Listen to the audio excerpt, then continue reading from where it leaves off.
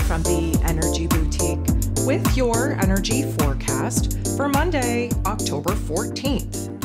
So the moon is in Pisces here all day. And of course, the moon in Pisces means we're kind of chill. We're kind of living in la la land. We're focused on what needs to end, what we're bringing a closure to. And at the same time, we're trying to renew and refresh our soul and our spirit. So again, Pisces energy represented by two fish, one building something, one going right behind and totally destroying it. This is the cycle. This is the chapter of destruction and rebirth. And of course, because we're in an ending and a closure chapter and series with multitude of different layers, again, different planets in ending phases, this is going to bring an end to the emotional chapter that we have definitely felt the ups and downs about. So there are 11 different aspects taking place here today. Nine of them are going to involve the moon. The moon in this Pisces energy going to semi square, creating a little bit of tension and conflict with Chiron, the wounded healer, who is retrograde in Aries energy. So, again, we're kind of sitting in our fears, we're kind of sitting in our insecurities, but at the same time, we get overwhelmed with all of that. And then we immediately just kind of moved into this dazed and confused type of situation and circumstance. The Pisces energy is the escape artist of the zodiac. We really don't want to deal with reality. We have Chiron, the wounded healer, really helping us to develop this new version of self. But while we're anchoring in this new version of self, we have to be very aware of the parts of the old version of self that still need a little bit of work, a little bit of healing, a little bit of growth.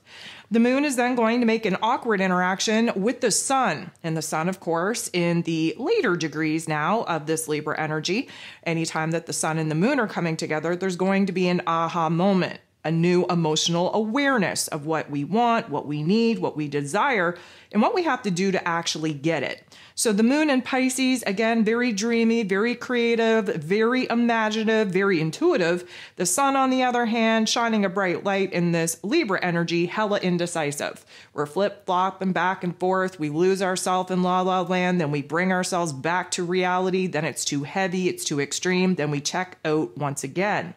The moon is going to make an awkward interaction with Mars. Mars being the god of war, ruling over our physical energy, our drive, our passion, our desires, even our anger. Mars is in Cancer energy, not feeling so hot. He can't take direct, immediate action on whether, whatever it is that he chooses to align with, chooses to really do and pursue. And of course, in this Cancer energy, we're kind of on the defense, we're in preservation mode. There's a lot of restlessness coming up, a lot of agitation. A lot of that is because, again, yesterday we did kind of kick off this T square between the Sun and Chiron and Mars that is continuing here today. And the moon and Mars definitely in these water energies, bringing up all the heavier emotions, all of the old, not so nice memories. Again, this is a process of acknowledging it, integrating it so that we can release it, let it go, and renew ourselves to start on a brand new emotional cycle. The moon is going to make a positive interaction with the North Node in Aries energy. And of course, that North Node is trying to get us on the right path, trying to get us towards this new mission, this new goal, this new vision, this new dream that, again, we're actively trying to manifest. It's hard though because we're in a closure chapter. So, again, a lot of the ideas that we have for our future selves, as soon as we realize what looks good, what feels good, what we actually want to do and pursue, that's the moment that we realize where in our current situation and circumstances, certain people, places, and things have got to go. Again, this is a wrap up of this old emotional cycle. The moon interacting with the North Node is putting us in a situation to realize where it is that we have grown, where we have healed, where we have evolved to a certain extent, but where there's still a little bit more work to do. 4:16 a.m. Eastern Standard Time, the sun in Libra energy going to get into the boxing ring, fight it out, square off with Mars. This is the T square that began at the latter part of the day here yesterday. So, of course, a square doesn't feel good. It highlights the tension, it highlights the conflict, it highlights where we're having growing pains course, growing pains aren't fun. And with Mars, the god of war, kind of being stunted in his growth, in his ability to kind of move forward, and again, putting him in a position to kind of hold on to what is worthy, what is valuable enough, what it is that we've already built and created, what we're willing to fight for. Again, preservation mode. So this is definitely going to trigger some ants in our pants. This is going to put us in a situation where we have a hard time sitting, where we have a hard time settling, where we have a hard time just realizing where we need to kind of, you know, calm the ants in our pants down. There is going to be an urgency an intensity around wanting to take action, wanting to make moves, wanting to do something that technically speaking, we're not able to do right now. So there's all this excess energy just bouncing around within us like a pinball machine. We don't know what to do with ourselves. We don't have the ability, the options, the opportunity to take action to make moves the way that we would want. And so there is this kind of longing for things to kind of hurry up and kick off. Now, let me just say, when Mars is involved, again, he rules over Aries energy. Aries energy is the beginning of the zodiac wheel. It is our ego self. It is our infant ego self, and tantrums are quite a big deal. We could be sitting in a funk. We could be kind of, you know, in a situation where the ants in our pants, the restlessness is getting the best of us, and that could put us in a situation where we're a little bit childish we're a little bit, you know, more reactive than we should be, a little bit more on the defense than we need to be. We're hella competitive with Mars. And of course, at this particular point in time, the Cancer energy so kind of stuck in the past that there is a resistance towards even wanting to negotiate, wanting to compromise, especially where relationship dynamics are concerned. And so, you know, the energy is running high. We're not giving it a healthy outlet to kind of get out of our body. And we're low on patience. We're kind of, you know, in this very tense dynamic. That is what a T square is. Now, we have to reach a boiling point before the energy starts to dissipate. This is it. So it's important to realize that everybody's on edge, everybody's projecting their anger, their restlessness outside of themselves. It's important not to kind of put ourselves in a situation to rush through certain, you know, circumstances or decision points. Again, we're in Libra season, so no decisions will be made but we don't want to like hurry the process in an unorganic way. And so, you know, to have the patience to put yourself in a timeout is a huge awareness that many people don't have. Just be aware of yourself, be responsible for your own energy. And again, just kind of pull back the reins and act as the observer. So we sit in this particular funk until about 2 p.m. again Eastern Standard Time. The moon in Pisces energy going to come up to bump into team up with Saturn, the lord of karma, who is retrograde in this Pisces energy. So a conjunction is a reset. There is an ending just as much as there is a beginning. The ending is the funk the harsh reality checks that we have been given, the let's call it overactive imagination, creating anxieties that don't need to be there, and the poor woe is me victimhood mentality. Now, what is beginning is this renewal, this refreshing soul and spiritual energy kicking in to remind us that guess what? Things aren't actually as bad as we're making them out to be.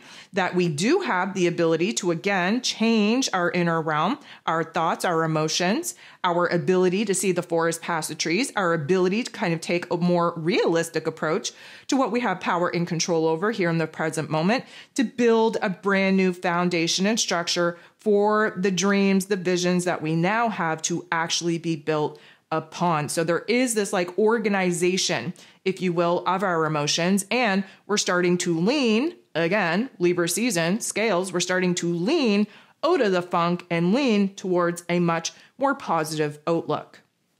The moon is then going to make a positive interaction with Uranus, the great awakener, who is retrograde in Taurus energy.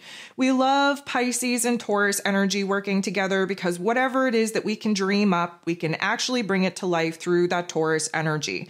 Just a reminder though, Uranus being retrograde in this Taurus energy is a reflection back, a reflection to where it is that we've built and created certain aspects, circumstances, situations in our lives with routines relationships, money matters, basically our physical realm that again we've outgrown, but yet we're having a hard time letting go of. Lucky for us, this is a positive interaction, which kind of screams that we're going to receive an epiphany, some huge insight on where it is that, again, we can kind of shift the way that we've been looking at things, shift the way that we've been feeling towards things, and really kind of get a grip on why it is that we're actually blocking ourselves from making the kind of progress that we wish we would have made at this particular juncture point. But again, we're responsible for not kind of having at this particular point because of our resistance to the change, to the transformation that we're currently going through. The moon is then going to semi square Pluto, the great transformer, who is now direct in Capricorn energy. A semi square is going to highlight where we're having a little bit of a problem trying to wrap our head or heart around what needs to be done. Of course, Pluto, now direct in this Capricorn energy, as full systems go, on where it is that we need to do one last final clean sweep of the old world that the old version of self that created. Removing old structures, old routines, old people, old places, old things that, of course, we've outgrown that are no longer contributing to our happiness, to our growth, to our evolvement. From now until November, this is going to be us bossing up, doing what we should have done probably many, many months and moons ago, that we have the opportunity to do now to bring a certain ending and closure to our physical realms. But of course, the moon in Pisces, emotionally speaking, we have to find ourselves in a place of acceptance, a place of realizing that, again, holding on to the old, especially when it's no longer serving us, especially when it reminds us of, you know, situations gone by, versions of self gone by, we cannot continue to live in a world, in a reality, in a circumstance that constantly triggers the old version of self to come out to play. This new version of self is now trying to be anchored in, trying to take the lead, trying to be the El Capitano of this particular ship and moving forward.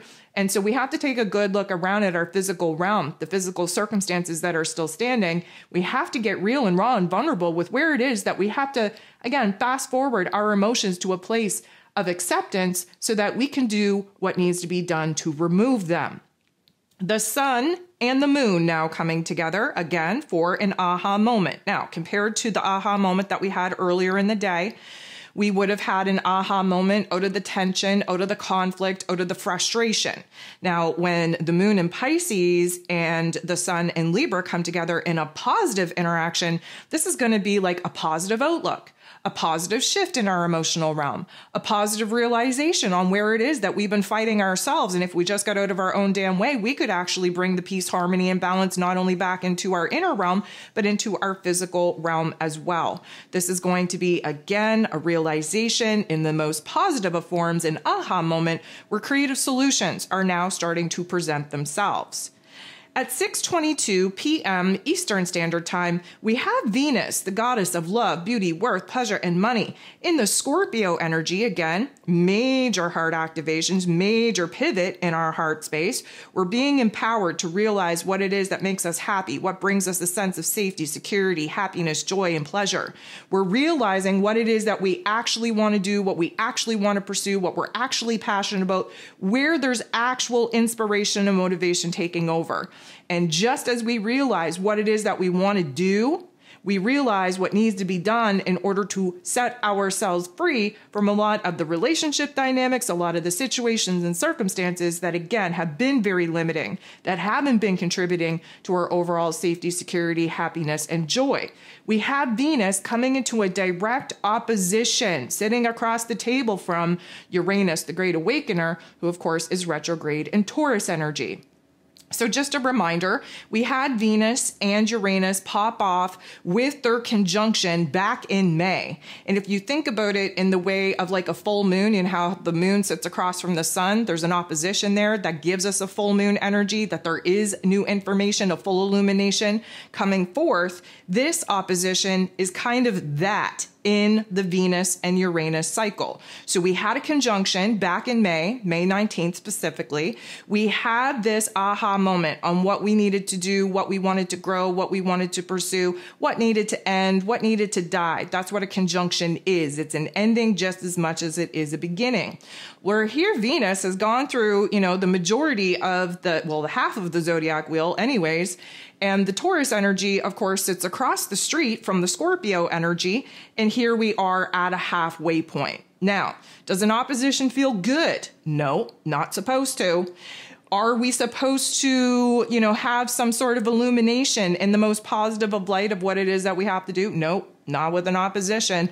An opposition is going to show us where it is that we're at odds with ourselves, between our heart and our head, where it is that we're at odds with other people in our relationship dynamics. There's some sort of power struggle going on, and we have to figure out how to balance, how to compromise, how to negotiate between these two planetary energies. So let's just talk about the fact, first of all, huge heart activations. If you haven't listened to the ascension symptoms for this week, I'm going to recommend that you do so. You're going to want to know why your heart starts acting a fool. You're going to want to know why you probably feel this, you know, pressure on your chest, on your heart space. You're also going to want to realize that Uranus brings in a whole lot of electricity into our physical form and jacks up our central nervous system. Now, on the other kind of, you know, spectrum of things outside of the ascension symptoms that we can expect with this particular pop off, Uranus brings brings the unexpected. And so there could be an unexpected event that pops off that puts into perfect perspective what needs to stay, what needs to go. There could be an unexpected change of heart take place suddenly just things are starting to connect the dots. The puzzle pieces are clicking together, and you realize, oh, I actually don't feel that way anymore, or I don't feel passionate about that anymore, or I no longer have the want, need, or desire to fight for this particular outcome anymore. Something is going to happen to kind of, you know, catch us off guard our feelings, what we're kind of, you know, focused on. It could be between people in our lives. Venus, of course, all about relationships. We could find that we are being attracted to a certain topic and theme for us to research and explore. There's some sort of aha moment, some sort of surprise coming out of the woodwork here today, likely through a not so good situation, because again, opposition is tension.